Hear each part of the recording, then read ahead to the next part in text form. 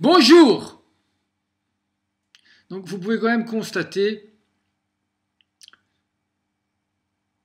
que qu'il y a beaucoup de changements aujourd'hui.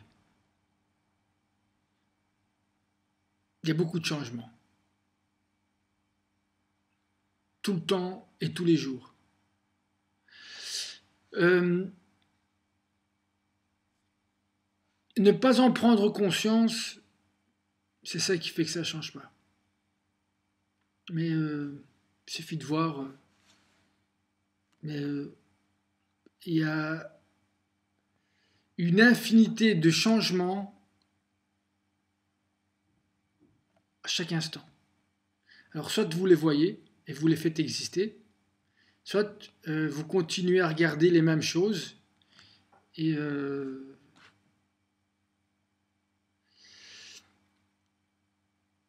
et vous êtes confronté aux, mêmes situations. Alors, petit message 175. Je dois changer le monde, clique et partager. Quand la vérité est trop élevée, en d'autres termes, quand il y a trop de lumière, quand elle ne tient pas compte du monde, dans le, du monde qu'elle veut éclairer, après je vais expliquer, donc d'abord je dis la phrase, cela produit le contraire de ce qu'elle doit créer. Elle provoque la division et la brisure au lieu de créer la réparation et l'unification. Euh, comment expliquer ça? Par exemple, euh, c'est pas tout de, de, de, de, connaître une vérité ou de dire à quelqu'un une vérité. Si euh, cette vérité est, elle est, trop haute, c'est-à-dire que vous ne tenez pas compte du niveau où, la personne se trouve quand vous lui dites la vérité, eh ben cette lumière, au lieu de provoquer une réparation et une unification, c'est-à-dire que, que vous, vous, vous, vous, vous unifiez, c'est-à-dire que, que, après ça, vous êtes encore plus euh, conscient que, que vous, vous, ne formez qu'un avec l'autre. Eh ben, si votre vérité, elle tient pas compte de son monde, du monde dans lequel euh, euh, on vit, eh ben, cette vérité va provoquer l'inverse. Elle va, elle va provoquer la brisure, la, division, le conflit et, tout ce qui va avec, avec, avec la. Et donc, mais le but, c'est quoi? C'est de réparer.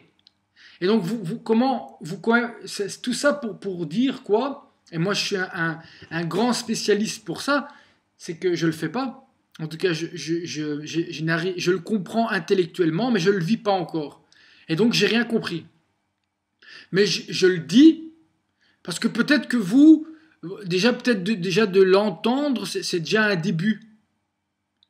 C'est-à-dire comme quand on, apprend à conduire, on apprend d'abord un certain nombre de choses, euh, les vitesses, pour après pouvoir les oublier et conduire. Ben avec la vie, c'est la même chose.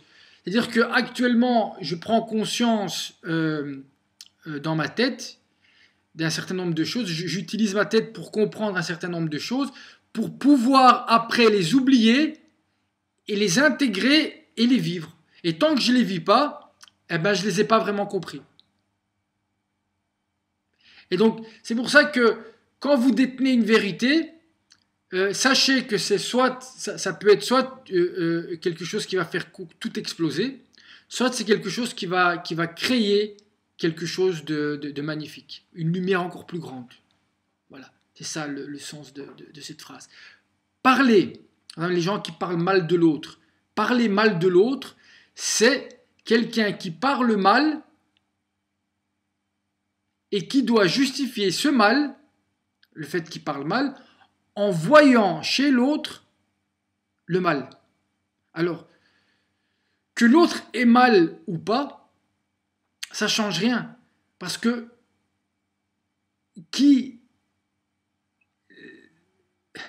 Euh, que l'autre ait mal ou pas, cela change rien à son, à son mal à lui, au mal qu'il est en train de faire en disant du mal de l'autre qui est bien plus profond et intérieur, son mal à lui. Celui qui, même si c'est vrai, qui dit ça c'est mal, mais le fait qu'il parle mal de quelqu'un, parce que tu sais pas tout de cet autre.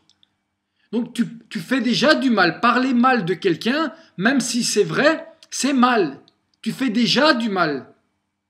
Et ce, mal-là, de parler mal, il est bien plus profond et plus interne que l'autre. D'où ton besoin de le projeter à l'extérieur. Soit en le voyant chez, l'autre, parce que c'est là que tu le vois, mais parce que c'est parce que tu c'est parce que tu le vois chez l'autre que ça te permet de pas te rendre compte que tu es en train de faire du mal en parlant mal. Parler mal, c'est c'est encore pire qu'une vérité. Maintenant, une vérité qui est dite trop rapidement, c'est déjà parler mal. Alors imaginez quand vous parlez mal, vraiment vous parlez mal. C'est-à-dire que là, on parle encore de quelqu'un qui dit une vérité, mais il y a des gens qui parlent mal, c'est-à-dire qui, qui, soit parce qu'ils connaissent pas euh, tout, tout, tout le, contexte, soit parce qu'ils n'ont pas tous les éléments, parce soit parce qu'ils sont pas l'autre et ils savent pas ce que l'autre vit, eh ben, le fait de parler mal, et, en plus, des fois, c'est même pas vrai. Des fois, c'est leur propre mal qui, se font des films et qui projettent sur l'autre, parce que vous vous rendez compte que, que vous détruisez vous, détruisez la vie de l'autre. Et vous vous détruisez vous-même. Tôt ou tard.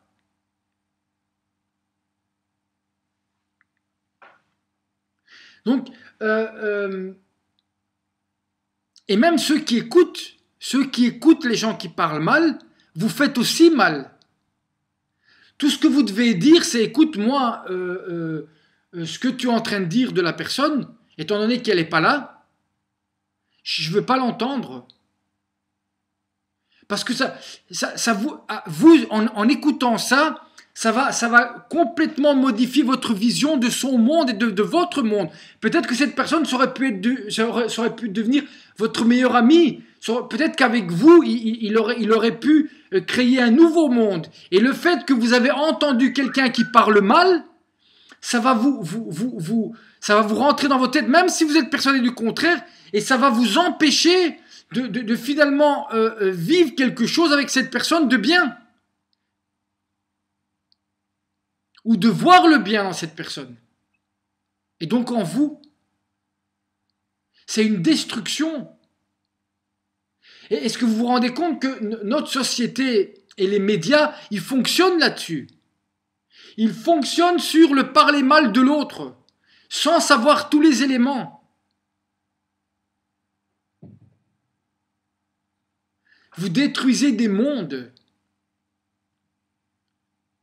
Et, ces mondes que vous détruisez, l'autre, c'est peut-être des mondes dans lesquels vous auriez pu vous inclure et grandir et vous unifiez et réparez quelque chose aussi en vous, parce que vous le réparez en l'autre, mais l'autre c'est une partie de vous.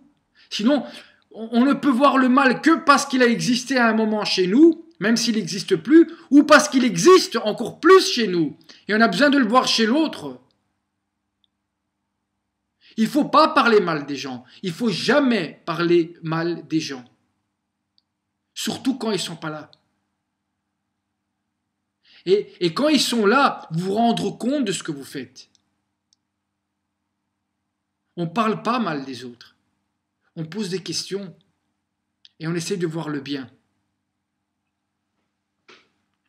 La meilleure façon de se mettre en prison, c'est écouter le jeu de mots, c'est s'occuper au nom de la liberté. Occuper, libre. La meilleure façon de se mettre en prison, c'est s'occuper au nom de la liberté. Ou au nom de l'amour ou il y a un paradoxe. Je m'occupe pour libérer quelque chose. Non si tu t'occupes tu peux pas te libérer. Se, se libérer c'est pas s'occuper. Il y a des travails qui libèrent et puis il y a des travails qu'on fait pour s'occuper. Le vrai travail s'occupe de quelqu'un d'autre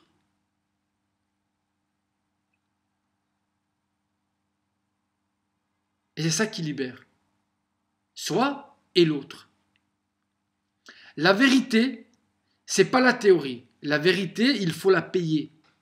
La vérité. Euh, euh, euh, dire une vérité et la vivre, même si on la comprend pas, ça se paye. tu, le payes. C'est-à-dire tu, c'est pas quelque chose. voilà, je parle de euh, non, la, plus belle preuve, c'est que la, vérité au bout, au bout de la vérité, il y a la mort. C'est ça. trop de vérité, c'est mourir. En tout cas, vouloir comprendre trop de vérité, c'est clair que c'est mourir. Vivre la vérité, c'est être immortel. La vivre. Et la comprendre, c'est mourir. Celui qui veut comprendre la vérité, il meurt. C'est mathématique. Celui qui veut vivre la vérité sans comprendre, il va, il va, il va payer. Il va payer euh, dans tous les sens du terme. C'est-à-dire que euh, on y va. Euh, dès que tu vas bouger de travers, tu vas le sentir tu payes. Tu payes. Tu peux pas dire la vérité, avoir du succès et, et, être une star. Non, c'est pas vrai. C'est pas vrai. Ça, c'est pas vrai. Tu vas peut-être avoir une certaine reconnaissance, une certaine popularité, mais tu vas jamais devenir quelqu'un qui a du succès ou qui, est devenu une, que tu, qui va faire des, des, des, des, qui va écrire des livres, faire des non non ça ça ça c'est du cinéma tout ça. Ça c'est pas la vérité. La vérité, c'est pas la théorie. La vérité, il faut la payer, il faut la vivre. Et quand je la vis, je comprends que je comprends rien et qu'il n'y a rien à comprendre. J'ai plus besoin d'en parler ou de l'écrire. Il et elle est vivant et dans le monde. Tu es vivant dans le monde. Et, c'est ta vie qui un jour, les gens vont dire, c'était vrai, il était vrai, c'est la vérité. Et la vérité, c'est la vérité. Et on ne peut rien contre la vérité. Que ce soit dans la souffrance, dans la peine ou dans la joie, il a été vrai. Il a vécu la vérité. La vivre. Trop de pureté, c'est l'impureté. Trop de vérité, c'est la mort. Ce qui est vrai est pur. est juste. Donc ce qui est vrai, c'est juste, être juste. Donc il n'y a pas de trop ou pas assez, c'est être juste, il y, a, une, certaine mesure là-dedans. Pas de trop dans le trop ou dans le peu, il n'y a pas de trop. Un peu, c'est bien. Trop de pureté, c'est l'impureté. Trop de vérité, c'est la mort. Ce qui est vrai et pur est juste. C'est juste. C'est juste, c'est juste. Pas de trop, de trop, et pas dans le, dans le peu. C'est un peu, c'est bien. Un peu, c'est bien. Bon, là c'est un, gros morceau, hein, donc euh, tenez-vous bien. Je vais juste lire et je n'expliquerai rien. Votre plus grand ennemi, c'est l'intellect, que le système vous a inculqué à votre insu qui détruit ce que vous êtes et votre mission sur Terre. Votre plus grand ennemi est en vous et dans votre tête. Celui qui remplit sa tête pour combattre, sans le savoir, ingère un poison dont il veut, dont il dit vouloir trouver le vaccin. C'est comme un système d'exploitation dans un ordinateur d'installer un système d'exploitation. Il vous impose son système, ses paradigmes, les fenêtres qui s'ouvrent et qui ne s'ouvrent pas, ses programmes, ses murs, Facebook ou, ou autres sites, d'exploitation. Soit tu exploites pour le système, soit tu es exploité. Soit tu combats et tu deviens un virus. Dans tous les sens du terme. Ces gens disent ouais je vais devenir un virus. C'est quoi un virus? Un virus c'est quelque chose qui détruit à l'intérieur du système. Donc il va détruire tout le système et tous les éléments, et pas simplement, soi-disant, les méchants. Mais je vais expliquer pourquoi. J'avais dit que je n'allais pas expliquer, je vais, je vais essayer de m'y tenir. Le virus n'est qu'un fruit du système, son bébé finalement. Porté au paroxysme, un élément qui détruit ou qui s'autodétruit pour et dans le système. Et en plus, qui dit c'est pour, euh, le, c'est pour euh, euh, créer un nouveau système. Non, il ne faut pas créer un nouveau système. Il faut réparer quelque chose qui est en dehors du système. J'expliquerai. Quelle que soit la position que vous prenez, vous serez dans le système d'exploitation et vous êtes un de ces éléments. Ceux qui pensent Le combattre utilise les mêmes paradigmes dans un autre sens et toujours et pour le système. Pour ou contre le système, tant que cela se produit dans le système, il est de ce fait même récupéré par lui. Ceci est aussi vrai pour les religions et les spiritualités qui ne sont pas à la mode. Donc les, spiritualités euh, qui ont un, certain, un certain âge, comme on dit. Une certaine, euh, ils ont, ils ont du, du fond. Qui, toutes ces religions et ces spiritualités, intrinsèquement, ont des éléments de la solution. Mais ils l'utilisent dans le système, et donc est récupéré par le système, ou il se trouve trop à l'extérieur. Seule une religion qui n'est pas une religion peut, en dehors de toute reconnaissance, vous aider à devenir qui vous êtes.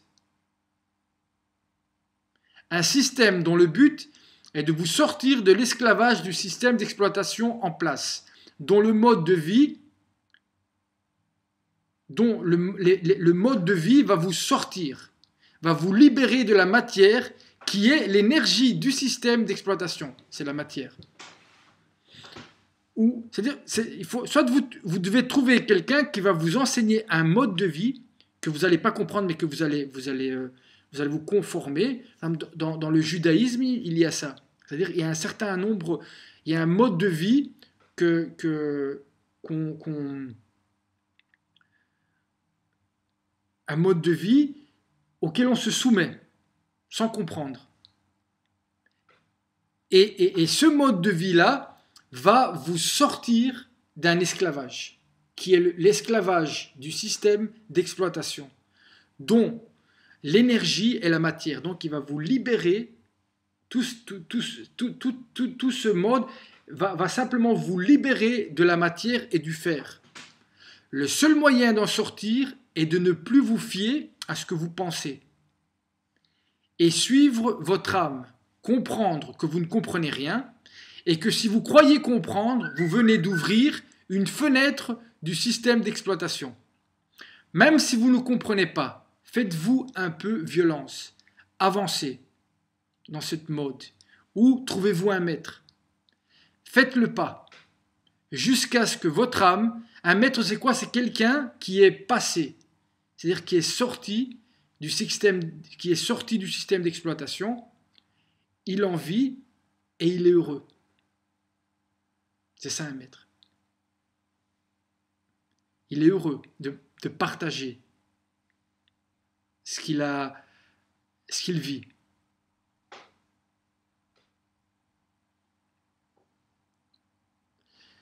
Ce qu'il vit. Dont le mode de vie vous sorte, vous libère de la matière, matière qui est l'énergie du système d'exploitation. Le seul moyen d'en sortir est de ne plus vous fier à ce que vous pensez tout ce que vous pensez, c'est dans le système. Et suivre votre âme, comprendre que vous ne comprenez rien, et que si vous croyez comprendre, vous venez d'ouvrir une fenêtre, si vous croyez comprendre, vous commencez à réfléchir avec votre cerveau dans une situation où vous êtes en train de réparer votre âme, et vous commencez à dire oui, mais euh, euh, euh, si je fais ça, ou, j'ai pas assez ci, ou, ou, vous rentrez, eh ben, vous êtes simplement en train d'ouvrir un système du système d'exploitation, une fenêtre. Même si vous ne comprenez pas, faites-vous un peu violence, avancez, faites le pas jusqu'à ce que votre âme répare ce que le système d'exploitation a détruit en vous. Le système d'exploitation, durant la phase de réparation, à l'extérieur, mais surtout à l'intérieur, fera tout son possible pour, pour, vous, pour reprendre le, le pouvoir en utilisant votre intellect. Car il sait que si vous réparez votre âme, vous aurez accès à un système infini et surtout en dehors de son contrôle. Votre âme unique vous donne accès à un système unique et infini qui vous donne accès à la vie, au système du don qui se programmera en fonction de ce qui vous unit à tout le monde de manière unique et au monde et aux autres mondes qui ne forment en réalité qu'un. Ce qu'il faut apprendre, c'est comment désapprendre et accepter et accéder à ce que je suis. Donc ce qu'il faut apprendre, C'est paradoxal parce qu'en même temps, vous ne pouvez pas passer par autre chose que d'apprendre ce système d'exploitation au départ. Vous devez l'apprendre. Pour un moment comprendre que vous devez le désapprendre pour pouvoir accéder à qui vous êtes.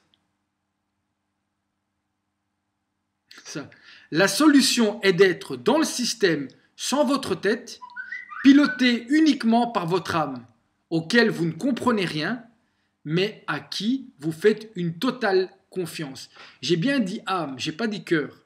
J'ai pas dit suivre son cœur ou suivre ses yeux ou encore moins suivre sa tête. Votre tête, vos yeux et, votre cœur, dans notre monde et avec le système d'exploitation, ils sont euh, euh, complètement euh, voués à faire le mal. Soit à l'autre, soit à vous-même.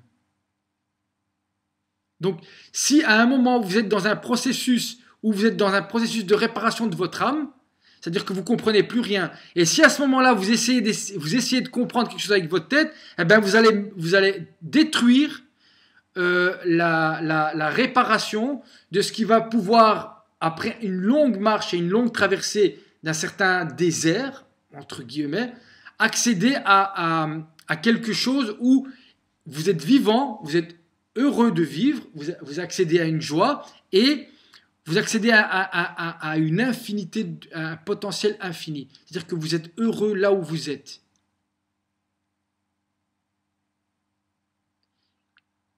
Et donc, pour terminer, on va lire juste la dernière phrase. La solution est d'être dans le système sans votre tête, sans votre cœur, piloté uniquement par votre âme auquel vous ne comprenez rien et que vous essayez même pas de comprendre, mais à qui vous faites une totale confiance. Et pour, je répète, pour accéder à ça, il faut un mode de vie, mode de vie qui est enseigné par des maîtres. Et donc les gens qui vous disent la solution est en toi ou si elle là, ces gens-là, ils vous disent que, soi-disant, vous êtes perdu dans, une forêt et vous allez euh, euh, trouver votre chemin comme ça tout seul. Il y a des gens qui sont passés par cette forêt et qui savent qu'à tel arbre, il faut tourner à gauche et puis. Une fois que vous serez sorti de, la forêt, après, si vous voulez, hein, euh,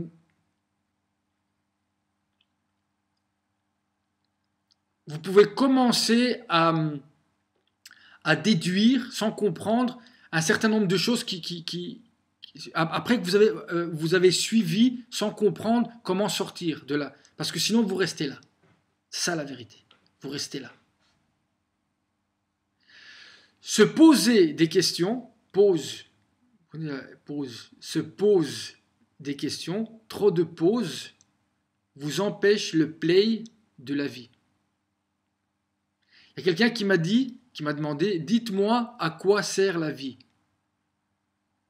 Et moi j'ai dit, il faut la vivre sans la comprendre. Et si tu essayes de comprendre avant, tu ne vivras pas. J'ai pas dit qu'il faut pas euh, faire les choses de manière irréfléchie et irresponsable. Hein. Non, non. Il faut être responsable dans l'incompréhension. Et comment on apprend à être responsable dans l'incompréhension? C'est un mode de vie. A, il y a, et ces modes de vie il faut aller les chercher chez des gens qui ont vécu, qui ont vécu. Et dans leur vécu, et ces gens-là, ils n'ont pas écrit des livres. Ces gens-là, on a écrit des livres sur eux. Parce que, parce que leur vie est vraie. C'est pas des écrivains, c'est pas des acteurs, c'est pas des, c'est des gens qui ont vécu. C'est-à-dire qui, qui, ont su, à un moment, trouver un chemin dans, dans ce désert ou dans, dans, cette forêt. Et il faut d'abord euh, euh, euh, lire ces, gens-là ou aller les chercher et, en faire vos maîtres. C'est-à-dire, euh, euh, au début, les écouter sans comprendre et, vous faire violence à votre cœur, à vos yeux et surtout à votre esprit. Leur dire, tu fonctionnes pas, tu m'as fait devenir ce que je ne suis pas. Et maintenant, je vais utiliser un certain nombre de choses euh, qui sont là pour désapprendre et devenir qui je suis. Et seulement alors, votre vie commence.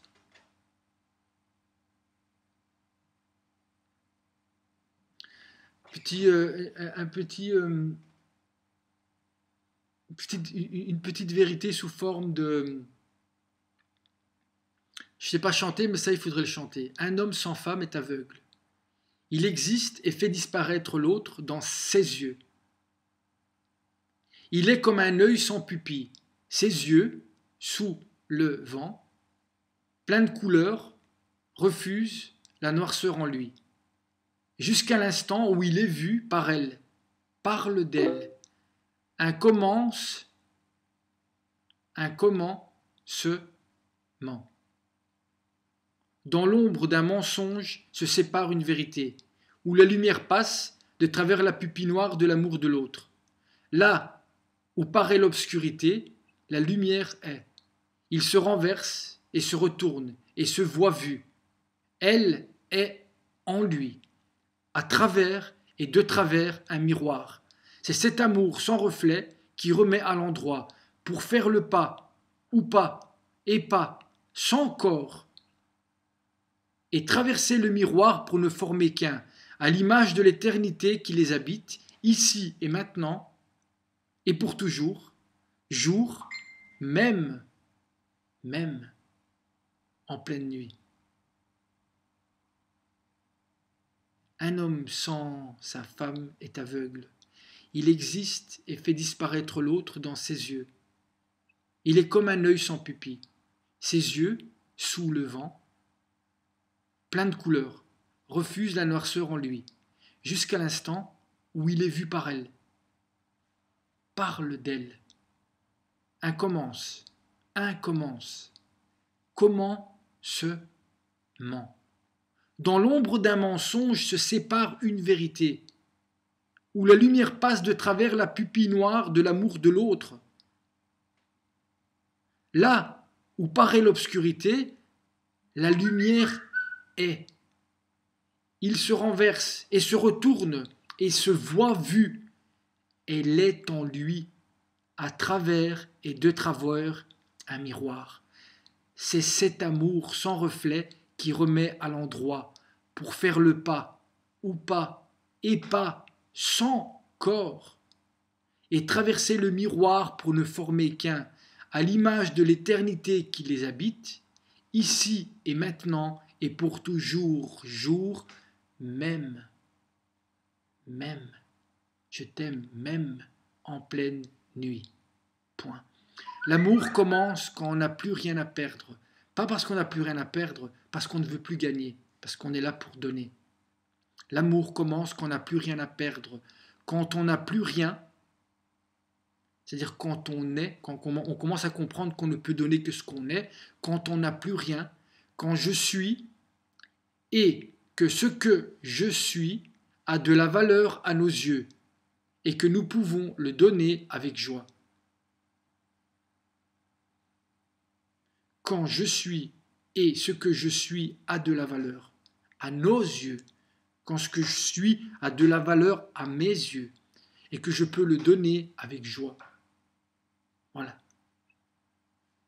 Chaque fois que j'ai cru trouver quelque chose, je me suis pris pour ce que je n'étais pas. Et donc, non seulement j'avais rien trouvé, mais j'avais rien compris. Le 20 octobre 2014. Bien à vous